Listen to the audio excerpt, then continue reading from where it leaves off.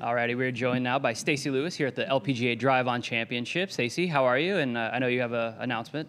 I do. I'm, I'm doing well. It's excited um, to start another year and um, pretty cool day for kind of my camp of people. And my instructor, Joe Hallett, uh, got the PGA of America's Teacher and Coach of the Year. So um, just wanted to give him a little shout out and super proud of him. Um, I've obviously, we both known for a couple months now, so it's nice to let the cat out of the bag and um, get to celebrate with him. What's he kind of meant to you, and is you know any kind of fun stories you guys have together? Oh gosh, well we started working together my the end of my rookie year, so we've worked together for a long time, and he's just always been a great sounding board. Um, keeps things super light. Um, has some really bad dad jokes, and um, you know, just he's put in so much work. And I think the stat that I heard is he he also has won the Horton Smith Award, so he's only the second PGA professional to win both awards. So um, so he's worked really hard for this, and I'm um, just proud of him. Absolutely. All right, now on to you. Just you know, how's it been since the since we last saw you, and you know, what'd you do this off season, and what kind of what have you been kind of working on? Um, this off season was um, a lot of time with the family. Uh, went by way too fast. Um, lots of family time in December went on a few trips. Um, Christmas was a lot of fun with Chesnee, and then um, really after the first of the year, kind of got back into it, kind of working on some things with my golf swing, and uh, just really want to play better golf this year. Just really struggled with my golf swing last year, and um, you know, Joe and I've been working hard the last few weeks to just try to get some momentum more than anything and get things feeling a little bit better. How does the swing feel, and how is it kind of how have, how have you felt out on the course, uh, and how has the course kind of played for you? Um, I'd say it's still a work in progress. You know, it's it's some changes and some things I need to fix that aren't going to be fixed in a week. Um, it's going to take a little bit, but it's good to get some reps on the golf course, and um, it's always different than being at home or being on a driving range. So, just getting some reps is going to be helpful for, you know, because I'm not going to play again until March. So, uh, good of like figuring out what to work on for the next month or so. Absolutely. Any big goals for, for 2024? Obviously, another Solheim Cup year, but outside of that, you know, any kind of personal on the course goals for you? I don't want to play Solheim, so that one's not on the list. Um, there's no way you can play in captain. I, I know I went back and forth on that last year, but there's no way you can do it. So, um, just want to put myself in contention a little bit more, give myself some more opportunities to win, and um, I still feel like the game is there, and I still feel like my head is still there to do it. So um, yeah, that's that's basically it. Absolutely. Uh, and you know, speaking on golf, uh, no, excuse me, on Solheim mm-hmm. Cup, the we the, the doc that kind of aired on Golf Channel last week. Uh, you know, what what kind of went into that, and you know, how has that relationship with KPMG kind of helped you through your captainship?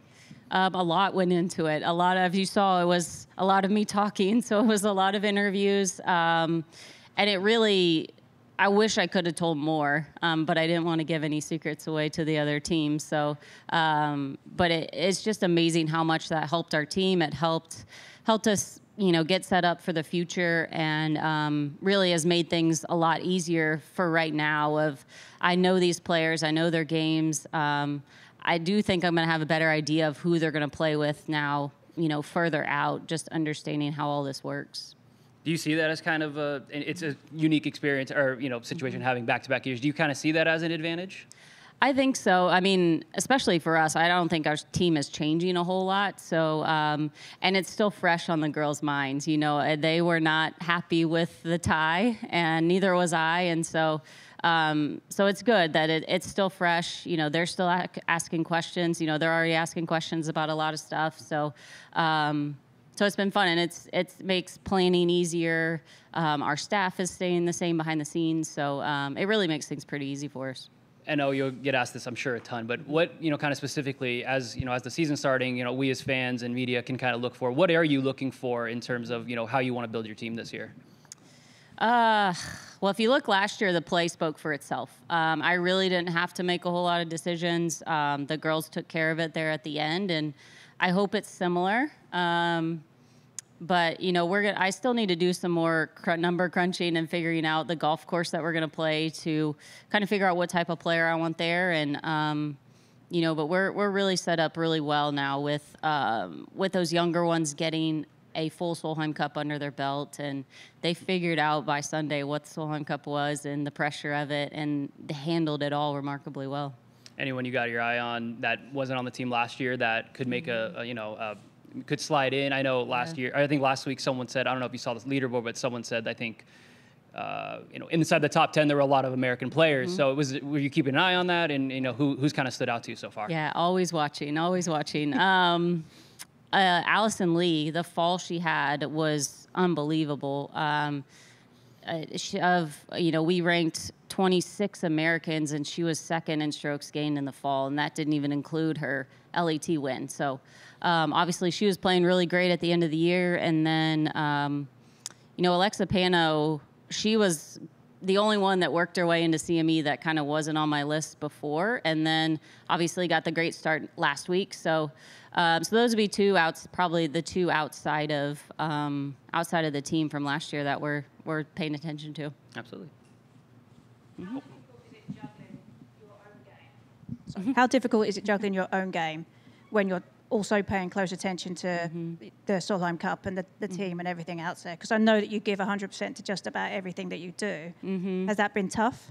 Yeah, yeah, it's been hard. I mean, I, I I'd be lying if I said that, you know, it hasn't affected my game. Um, and and as I've gotten older too, you know, I can't go beat balls the way I used to. Uh, so, I mean, so that's been a factor as well. But um, I've honestly enjoyed the Solheim Cup so much. Like, I wouldn't change anything for the world. I mean, I.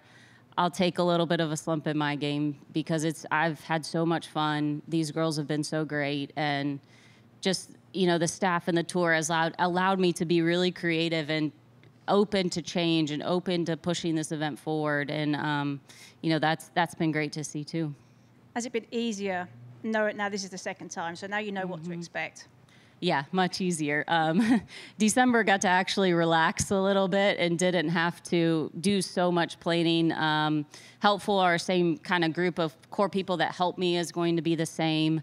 Um, I, it is going to be a little more difficult being at home though. Um, more, more, more people involved in general. Um, more asks for me and then the players are going to have more people around them. So it's going to be a little bit different of a challenge, but um, but yeah, just having the, the one under our belt, we've got a blueprint, and now we just we're going to add to it. Stacy, how important do you feel like the culture shift that you kind of created last year was to the future success of this American team?